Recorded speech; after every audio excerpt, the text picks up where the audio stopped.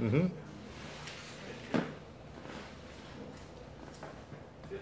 So for some reason your screen's too big. Uh, you want to, I can do it in the, since it's just slides, I can put it into the normal Uh, window if you'd like. You want to try that? uh, will things overrun your window? Yeah, they will. Okay, let's do it. in a Well, different- why don't you just, I can just put this, I can just open this mic. why don't you just shrink your browser? Yeah, just don't have your browser full screen. Because I think Can then, present this just in, let's find out. no one good. It still goes full screen. Yeah, I could just, I'll just do it in this.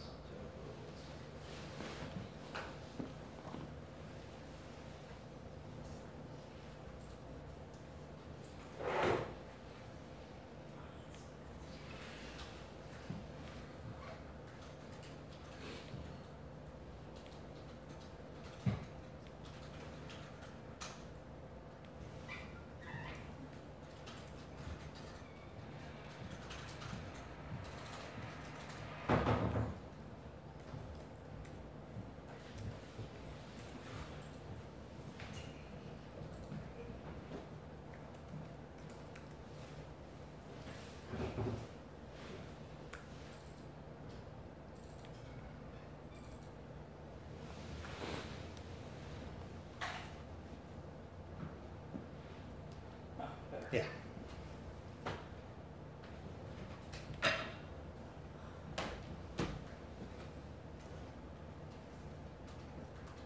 Okay, good to go. Mm-hmm.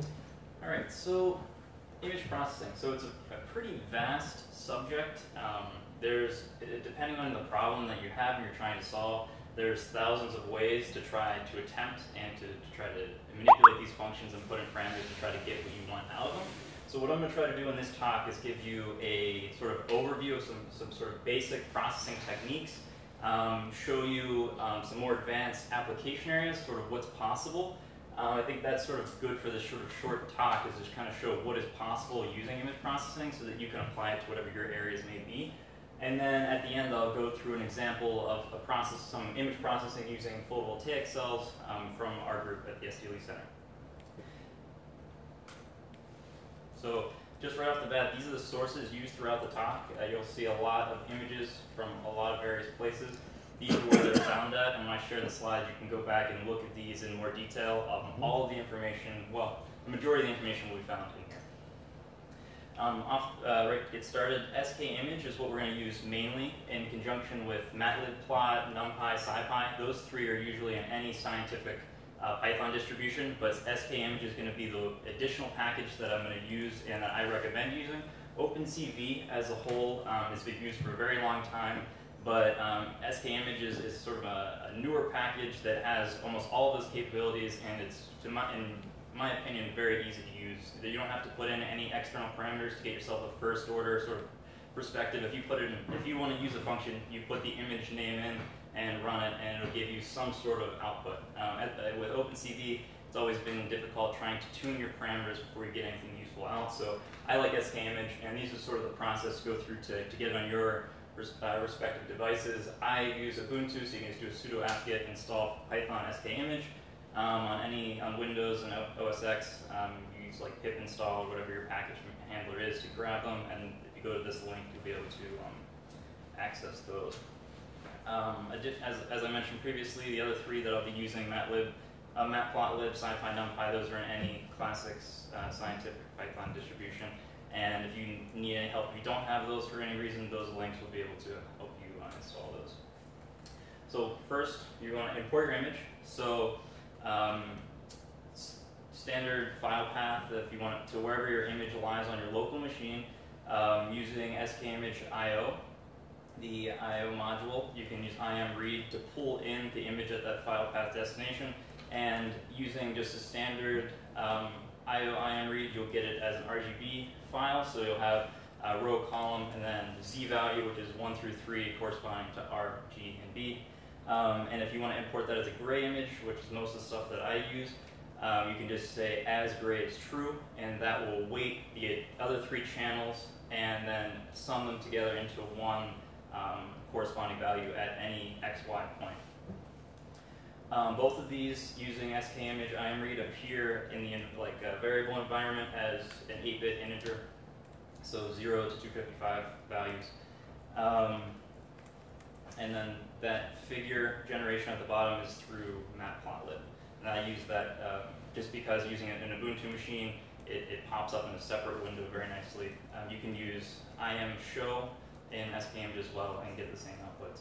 On the left there is a electroluminescent image of a four cell mini module, which we'll use in a further exam- uh, demonstration later, and here's the gray image corresponding to those two lines of code.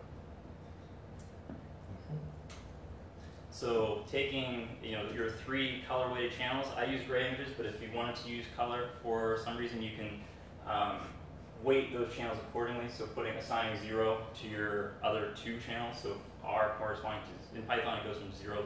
It starts at zero. The, the value doesn't start at one like R does when you're like looping Mhm. through things, your vectors or whatever. So um, it assigns zero to one and three for red, and then zero and two, skipping one for, for green, etc. And so you can see um, how it divides out that individual image. So maybe you're looking for a parameter like this this area of this mandrill.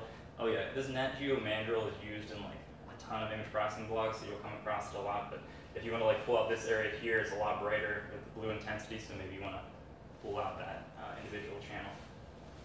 Um, so for processing in general, so uh, more so just in more advanced processing rely on good uh, more advanced like techniques rely on good processing. So if if you have bad processing techniques and you try to pull out a feature or try to extract some important value from internal to your image, uh, you're going to have a really hard problem, hard hard time. Any advanced processing rely or advanced analysis relies on good processing. So there's some some techniques here. We'll go into more detail on a few of these, but there's a myriad of application areas. Some are good for, let's say you want to keep it, an edge defined. So you're going to do an edge detection later. You're going to use some gradients to find an edge that you really want to, maybe use find, pull out an object or something that's inside your image. Um, some filters are really well, they do really well at defining, get getting rid of noise and defining those edges. Others just do a, a smoothing effect, so they help to sort of um, lower the maximum pixel distribution in your histogram down lower, and you'll see this here in, in a little bit just to create a smooth image that gets rid of fine details if you want to pull out a coarse, a large feature. Um, so another a common technique is using a global thresholding. You're turning your, your image into a binary value. So back to like a, an, an edge detection style of uh, problem. If you want to find an edge, it's a lot easier to find it whenever your, your image has been thresholded between 0 and 1. Your, the gradient is a lot steeper than something that's continuous, like in this region here you can see that the slope is, is very continuous, but if you wanted to just find high and low values, if you apply a binary filter, this one is at the mean, so NP, NumPy mean. Um, anything below or above just gets pushed to 0 to 1. So, and it also allows for faster image processing because then this can be turned into a boolean, uh, true or false. So then when you go through, um, you look at like SK image modules, they'll put a, a fast in front of the function, and that fast means that it'll run much quicker on a boolean than on a um, continuous value or, or like integer or float or something like that. So for fast image processing, this may be effective for you. Um, another method is using histogram equalization. So what this does is it evenly redistributes the intensity values across your uh, the full range of pixel values.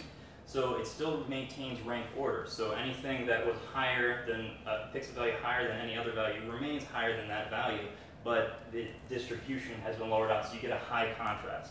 So you can see in this image here, much better feature definition um, here than you did in the original, in a, in a standard grayscale.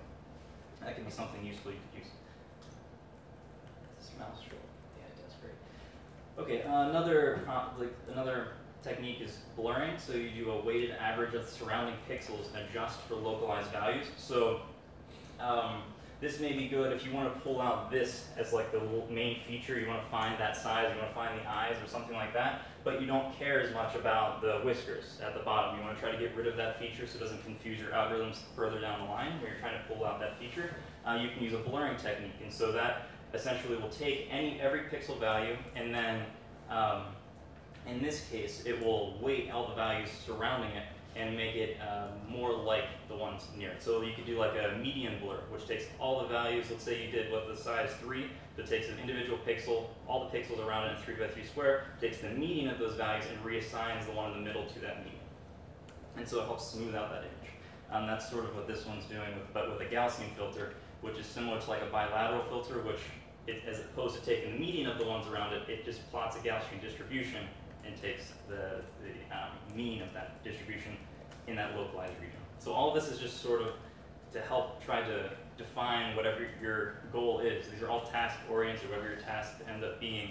Um, this could be different for, for two different problems. So trying to pick and choose what works best for you is always important.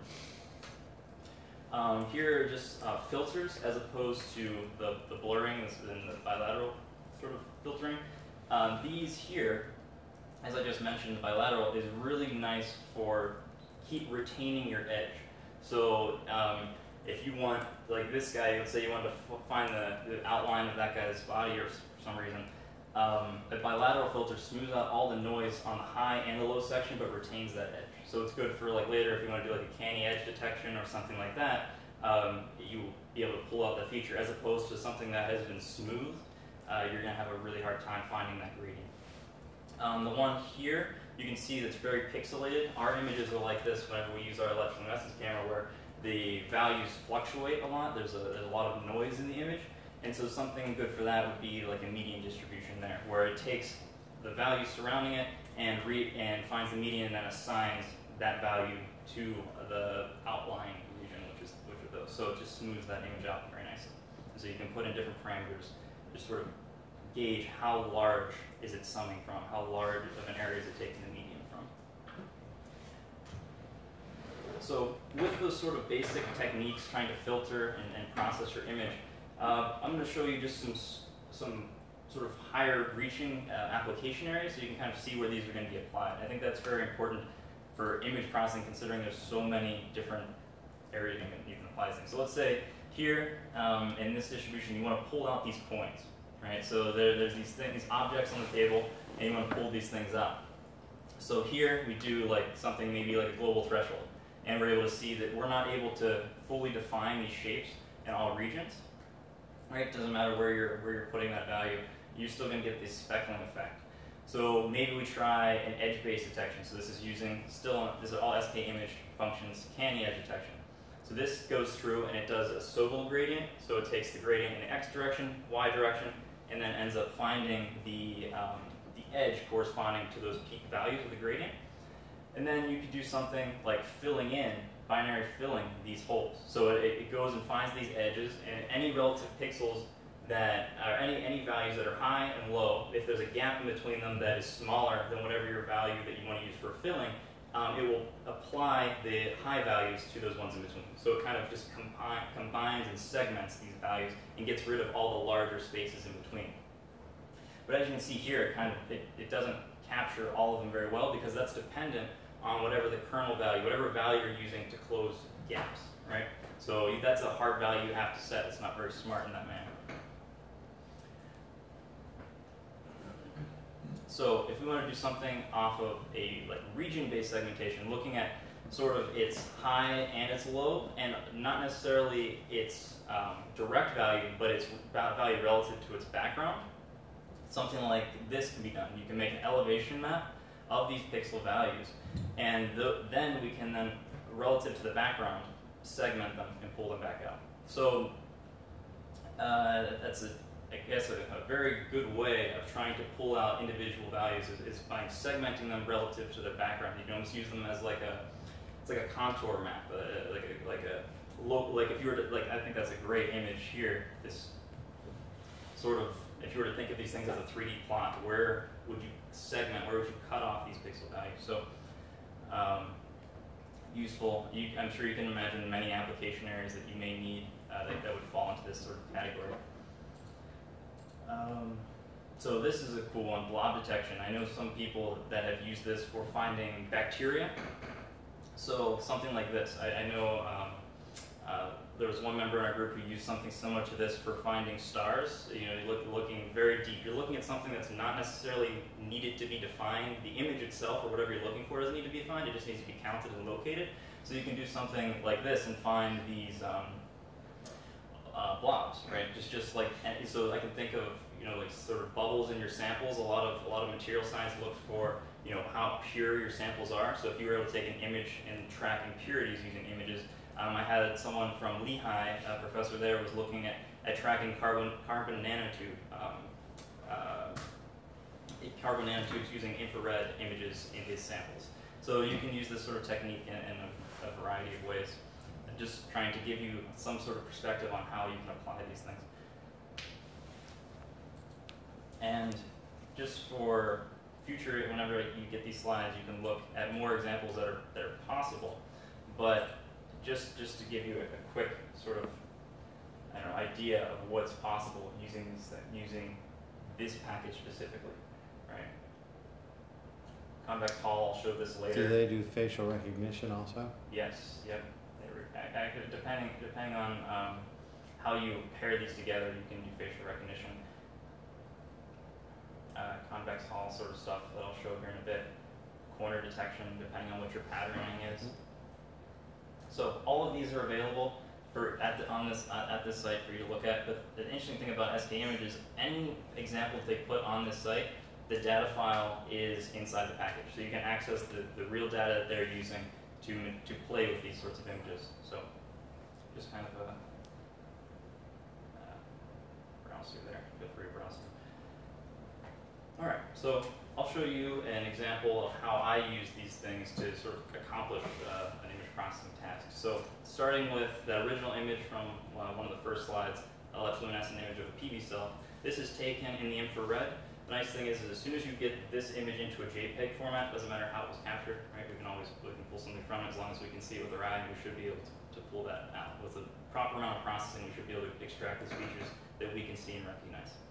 So take the original Im image, import it as a gray image, uh, apply a bilateral denoising. So this was the one to help keep the edges defined, not to smooth and, and, lose that edge, with the goal being to pull out one of these cells onto its own image. And the, the issue with that primarily would be the fact that the edges are degraded, so you don't have a, perfect polygon. It's not a, something that's easily defined. And on different orders of degradation, if these things were to impede further into the cell further and further, um, and you were, or you were to lose an edge or something like that, um, it would be hard to define that shape. So you want you want something that is able to take into account these sorts of non uh, continuities and not dis discontinuous edges. Anyway, so moving forward, so we've done uh, bilateral filtering. Uh, we'll use What does bilateral filtering mean? Bilateral filtering uses a, a, a Gaussian distribution in, in a relative area to uh, essentially uh, reassign a, the, the, value at that point uh, based on the distribution of pixels around it. And the one thing that is used, why this filter is used is it preserves the edge. So Mhm. as opposed to a smoothing technique which doesn't retain that edge as well. Just Yeah. Yes. the original image wasn't JPEG, right? Yes, it was. Okay. Yeah, that's a J. The original image was a JPEG, and that came. So, it's, I guess a moment of background on where this image arose from.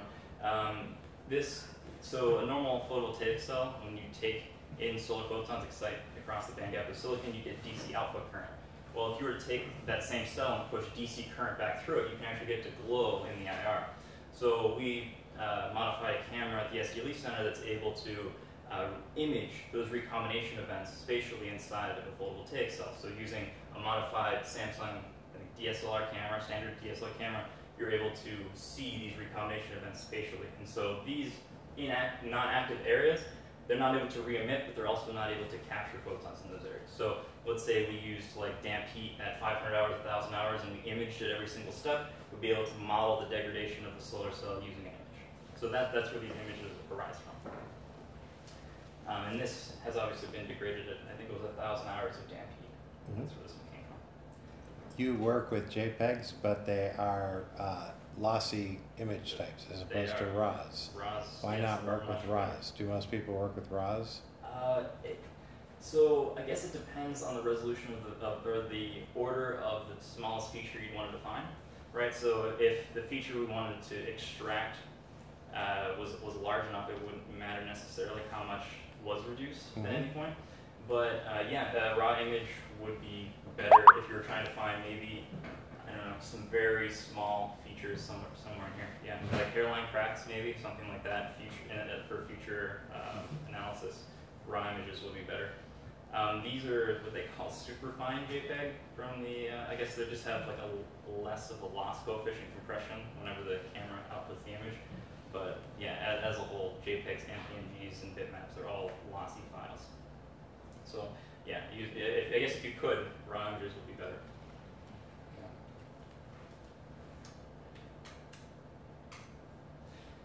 So this here is an adaptive threshold. So what it does is it takes a block certain size, smaller than the global threshold, takes one value cut off and just slices it through the image, right? Anything high or low goes goes to white and black. If this takes a 500, uh, uh, I, I define the blocks as a 500, 500 by 500 area, and scans across the image and takes a, a um, it, it does an adaptive threshold, a mean threshold at that area. So it helps define some more of these features as opposed to, uh, did I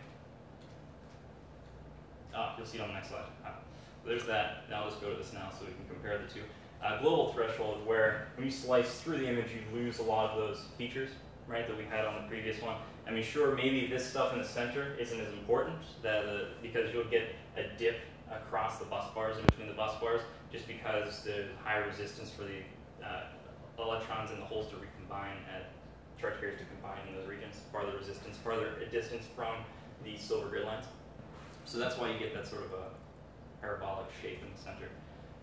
Um, but yeah, so comparatively, you can see that, that this is able to define more of those features. And so if we want to extract one of these cells, one of the biggest issues that I've come across is defining the distance in between two cells, right? Mhm. So if, if you're gonna, in this image where it's been globally thresholded, you have some pixel values that sort of float across in this region. So if I were to do something to try to extract this whole area or to close these gaps here, I would also close these gaps. So what I decided to do was to do this adaptive threshold, which has this sort of pixelated exterior, and add it, make a composite image with a global threshold image to get rid of this background. You could also do a close, but as I said um, previously, you wouldn't be able, you wouldn't be able to completely close these without closing the, the gap as well. So, taking a composite image of those together, taking this image plus this image, we can uh, arrive at this one, which has a nice defined edge along here. Uh, more of the features showing too. A lot of these features that are still evident as they weren't evident in the global threshold image. And now if we take that and we close it, so we need to define a, a, a continuous image, a continuous blob of something, art, artifact to extract. You can see here that all of these bus bars have been closed because they're a smaller area than, than this region. So if you just figure out what the distance is across here and just make that your closing value, these will shut like, like such. And also this gap would then now be bigger than these, so it doesn't close, you still have individual objects. And then finally, perform a convex hull, which finds the smallest convex set from any distance, or uh, that contains x, which x would be the object that it started wrapping itself around. Um, and this is good for enclosing bounded areas, obviously, from, from there to there. Those are your uh, final areas, and then we can use, I use SKM, or Sci, I'm sorry, SciPy ND image for this. Um, it's the same thing as um, in, S, in the SK image, but it, SK image sometimes will actually just use SciPy functions and just kind of repackage them in, so kind of cut out the middleman and just go back to uh, SciPy um, and label these individually. So this assigns a value of 1, 2, 3, and 4 to however many objects. Um, and I plotted this as spectral as opposed to, to gray, um, just so you can see them better. So now, if we wanted to pull out um, the individual cells, we could just say any value in, or any pixel in, in this image that has, this corresponds to 1, um, go and what I did is I mapped it from any previous image. So let's say I wanted to pull the pix the image off of the original, I could just access the original image at the index value corresponding to whatever this, this region is, and then just map it onto a new space. So you take the index value corresponding to 1 or whatever it is here, go back to the original image, get the exact same corresponding pixel value, and then map it onto a new space. Does that make sense to everyone? Sort of, yeah, just since this image defines whatever the boundary region is, then you're able to then go back and access that index value. Index value is what is important from this. Okay. And then, you're able to pull out whatever image you'd like. Um, that's the original one on the left. Uh, the middle one is from that, that composite image. And this one here was one that I didn't show you, but it was using uh, non-local means denoising and a Gaussian adaptive thresholding to just define these cracks better. So it gets rid of a lot of that, I don't know, what are going to call fuzzy center um, a lot better. So now we can use this, and with what Roger was saying, you can pair this with like a facial recognition sort of an algorithm and use this for a characterization. So uh, another member in our group is really is setting up a neural network to feed in a test set of about 200 of these images, um, supervised. So you, you you segment it and say this is a clean image, this is a what we would look for for a moderately degraded image, this is an extremely degraded image. You feed it that test set, let it learn what those values or what those images look like, and then you give it something to predict upon, some sort of um, test case, and then see if it can characterize just like the test or the original test set was, right, or the training set. So that's sort of the future of, of this project. Uh, if you wanted to see the, the code, uh, we can go back to that in a bit. Um, as you can tell from here, there's some slight error, right, around these edges, and that has to do with in, in this set, um, the cells, whenever they're manufactured, are not perpendicular. They could float in the encapsulant slightly and be rotated. So what we could apply, and I haven't done yet, but uh, is possible to do so if we'd like, is to use perspective transformations or rotations. So you just take those individual cells, you fit a rectangular polygon around it. When you fit it in this manner, uh, um, SK image outputs both the dimensions of the sides as well as its rotation from its center axis if this thing would be perpendicular to the screen, uh, perpendicular to like the edges of the screen. And so then you can just push it back that amount right, remap it onto the original canvas, or its new, know, that canvas that it's on. Um, these, uh, yeah, and then, well, yeah, yeah, the, as I mentioned previously, they'll be tested further. So that's that's sort of the talk that I had, kind of going over all these topics. Um, if you have any questions in more uh, specific detail, please feel free to ask.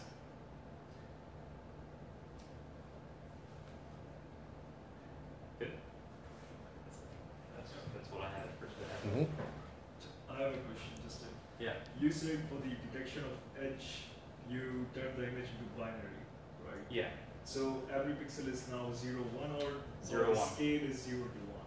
Every pixel is zero to one, is zero or one, not Zero two one or or one. Those two values only. And so that was why it's nice to turn those into like boolean values, like true false values.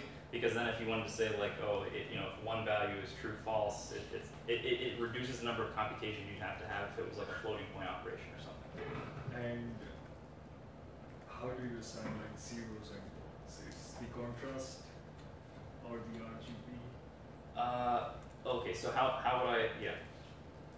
Uh, you, so how would I assign it? Or based off of like a threat, so like Oh, like the threshold value. So let's say the original value when you import it is an 8-bit um, integer. So it goes between 0 and 255. So there's a distribution of values in there that compose the original image.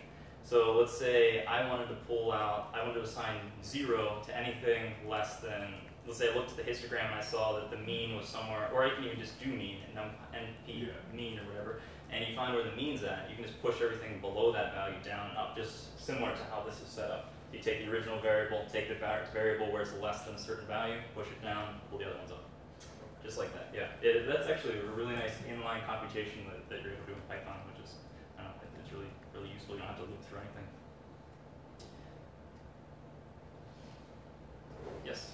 Um, like memory wise, every time you run something, is is it creating a new image that's then saved? Uh, and so in some of these cases, yes. In other ones, they're just pointers to previous files. So if they, like in this case where um, you take these two original bilateral and, and binary adapted, those two images, those are complete separate images, and then adding them together into a third image. You could rewrite one of those other previous ones.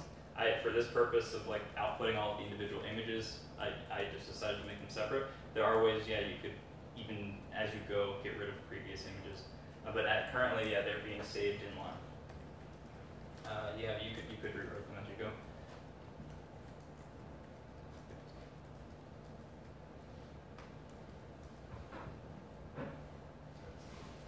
Okay.